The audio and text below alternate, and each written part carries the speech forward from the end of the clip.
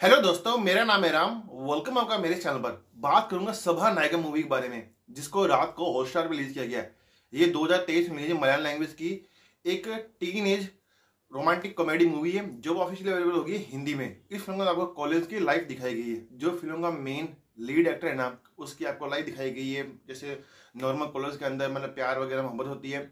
उसी का आधार से फ़िल्म को बनाया गया है। क्योंकि आज है चौदह फरवरी तो बस उसी का आधार पर फ़िल्म को हिंदी में रिलीज़ किया गया था ताकि जो कोई नॉर्थ ऑडियंस है ना अगर वो कोई रोमांटिक कॉमेडी मूवी देखना चाहते हैं, जो भी आज यंगस्टर हैं, आज के टाइम में कोई मूवी देखना चाहते हैं तो बस उसके आधार पर फ़िल्म को बनाया गया था उन्होंने आज फ़िल्म को हिंदी में रिलीज़ किया। यकीन मानिए दोस्तों, जिस उम्मीद से मैंने फ़िल्म को देखा था ना, मुझे फ़िल्म बस एक सिंपल लगी। यानी मैं फ़िल्म को ये नहीं बोलूँगा कि भाई फ़िल्म इतनी वाया थी कि मेरे सिर में दर्द होने लग गया, लेकिन मैं ये बोलूँगा बस एक एक एवरेज मूवी थी।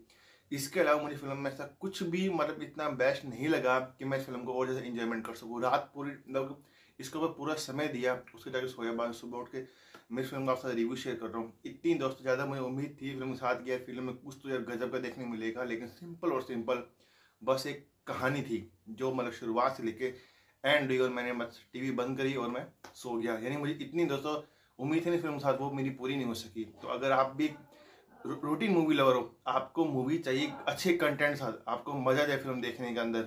तो मैं कहूँगा फ़िल्म में वो कंटेंट देखने नहीं मिलने वाला है। लेकिन इन चीज़ों को छोड़कर आप सिर्फ़ फ़िल्म नहीं देख सकते हो भाई नई फ़िल्म देखने को मिल जाए हिंदी के अंदर तो भले आप इस फ़िल्म को देखना। देखें एक अच्छी स्टोरी नहीं देखने को मिलेगी, यानी बेस्ट स्टोरी नहीं देखने को मिलेगी। तो दोस्तों, इस फ़िल्म के लिए मेरा छोटा सा रिव्यू था, जो मैंने आपको मेरे चैनल पर बता दिया है। आप मेरे चैनल पहली बार आए हो तो प्लीज़ चैनल को सपोर्ट ज़रूर करना और कमेंट ज़रूर बताना अगर आपने फ़िल्म को देख लिया। आपको अगर मेरी बात सही लगी हो, इस फ़िल्म से जुड़ी आपको कुछ भी चीज़ अच्छी वो लगी हो कमेंट मेरे साथ एक बार ज़रूर शेयर करना। मिलता अगली वीडियो में, ऐसी एक और मूवी का रिव्यू और अपडेट लेकर।